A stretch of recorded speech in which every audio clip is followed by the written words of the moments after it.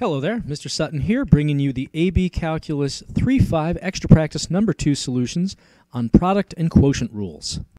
On this problem, they're asking us to find f prime without using the product or quotient rule. So that means we need to simplify first and then use probably the power rule. So it looks like we can divide both of these terms in the numerator by this denominator of x cubed. So going from left to right, 3x squared over x cubed, that's going to be 3x to the negative 1. And if we have negative 1 over x cubed, I can rewrite that as negative x to the negative 3. Going through and using the power rule now, this first one, this is going to be negative 3 x to the negative 2. And then for this next one, this will be positive 3 x to the negative 4. For this one, they want us to find f prime of this product without actually using the product rule. So let's go ahead and simplify this and then use the power rule. Before I do that, though, let me turn this radical x into an x to the 1 half power. And in here, we'll make this 2x to the 1 half, make it a little bit easier to use the power rule. Now let's go ahead and distribute this x to the 1 half. So x to the 1 half times 2x squared, that's going to be 2x to the 5 halves and then we'll have minus 4x to the 1 half. And then finally, this will be 2x to the just the 1, 1 half plus 1 half. Well, that works out nicely. So going through and actually using the power rule now, for this first one, we've got 2 times 5 halves, which is just 5, x to the 3 halves. Next, 1 half of 4 is 2, so this is minus 2, x to the negative 1 half.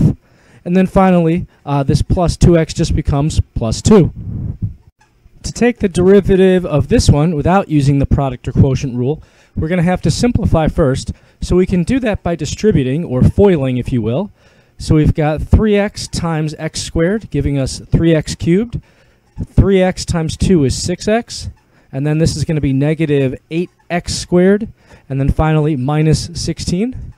So going through and just taking each of these derivatives, and I'm just going to do it in the order that I see here. I'm not going to bother putting it in decreasing order of exponents. So we've got 9x to the second plus 6, and I'm just using the power rule here. And then finally, minus 16x. This negative 16 here just becomes 0 because it's a constant. For this problem, they want us to find f prime specifically using the product or quotient rule. So this is one you could definitely simplify and distribute and use the power rule on if all you were trying to do was find f prime, but they want you to practice the technique of these different rules. So let's go ahead and use it. So to do that, uh, this is a product, so let me write out the product rule. u prime v plus uv prime. Not necessary to write it out, but it's nice to know where things are going to go. And then I'm going to set up my box and ribbon here. So I've got my two factors, radical x, which I'll call x to the 1 half, and 2x squared minus 5x. Now down below, I'm going to take their derivatives.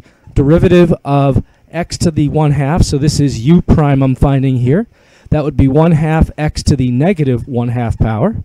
And then derivative of 2x squared minus 5x, that's going to be 4x minus 5. So now I'm just going to use the ribbon to put it all together in the same order that I have over here. So I've got for uh, u prime v, that's going to be 1 half x to the negative 1 half, parentheses, 2x squared minus 5x. And then I'm going the other way with the ribbon, so this is going to be plus x to the 1 half, parentheses, 4x minus 5. On this problem, they want us to find the derivative of this product, specifically by using the product rule. The, the fastest way to do this would probably just be to distribute the 4x cubed and use the power rule, but they want you to demonstrate that you know how to use the product rule in this one. So let's write that out. That would be u prime v plus uv prime. And then to organize things, I'll set up a box and ribbon for this.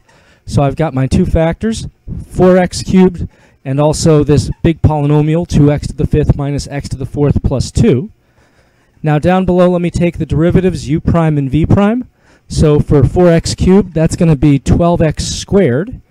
And for this next one here, that's going to be, let's see, 10x to the fourth minus 4x cubed. And that 2 thankfully just goes away because the derivative of a constant is 0. So now let me use the ribbon to multiply things out in the order I need. So for my first uh, term here, I've got 12x squared parentheses 2x to the fifth minus x to the fourth plus 2.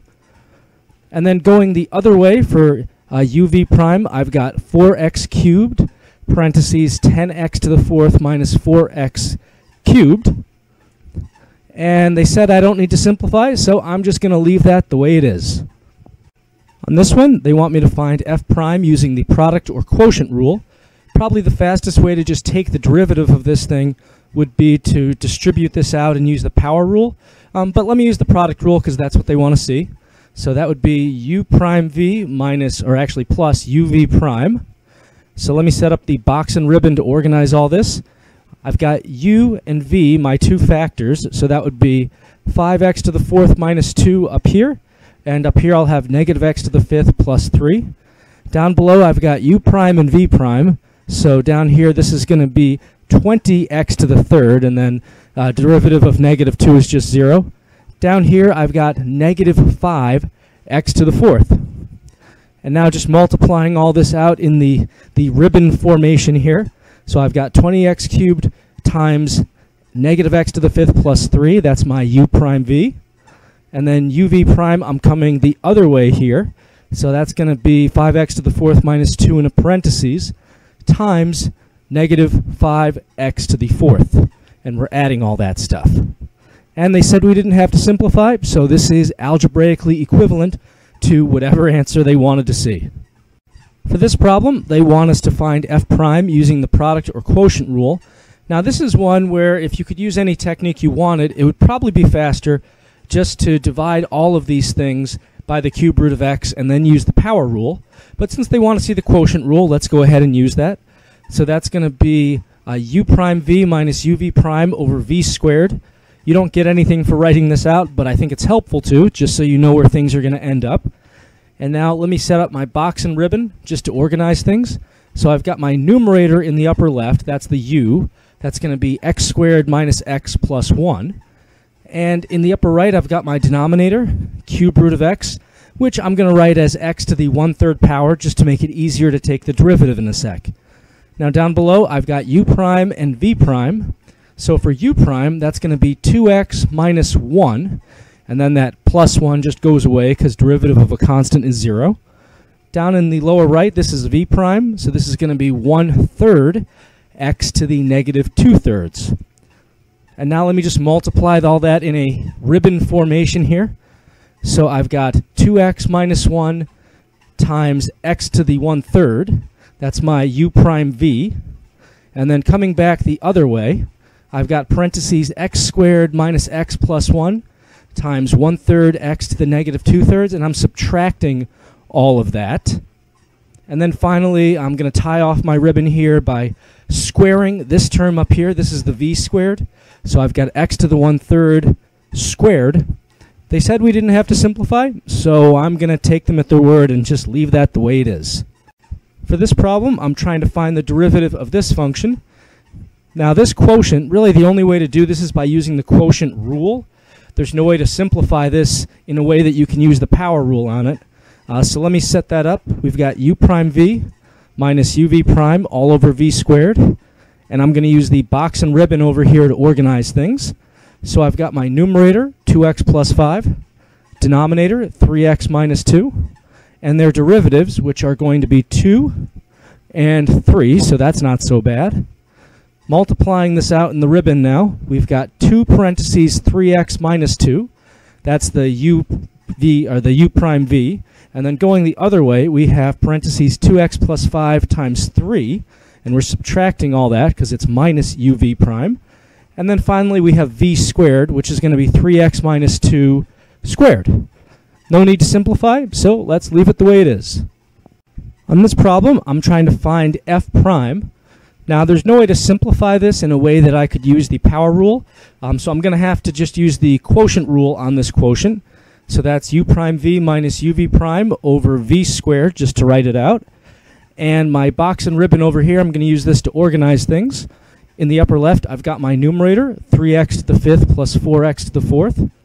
And denominator goes in the upper right, so that's 5x squared minus 5 going over here.